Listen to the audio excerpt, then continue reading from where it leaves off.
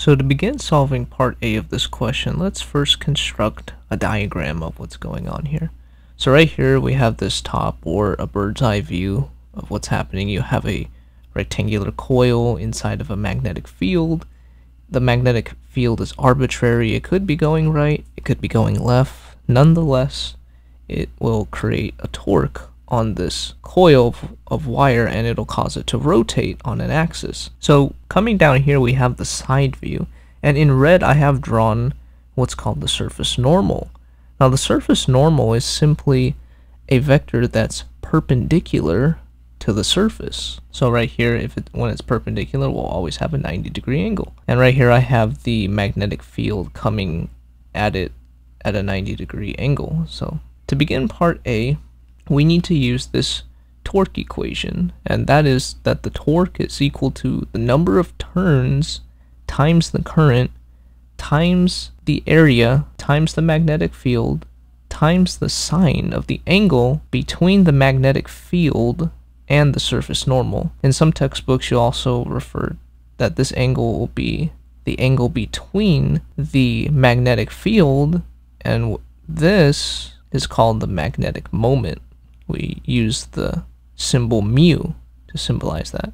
So this angle here represents the angle between the magnetic field and the magnetic moment, or you could think of it as the magnetic field and the surface normal. Next, we'll rearrange the equation so that we solve for i, and right here we'll begin plugging in the numbers that were given to us. So right here we have a torque of 0.15, the number of turns was 200. The area right here, remember that they gave it to us in centimeters, so we have to turn that into meters so that we get the, an area of meters squared. Right here is the magnetic field of 0.90 Tesla, and the angle between the magnetic field and the surface normal or sometimes we could refer to this as the magnetic moment. So as you can see here, it is perpendicular, so it's at a 90 degree angle. So this turns it into 1. This should give us a current of 0.56 amps.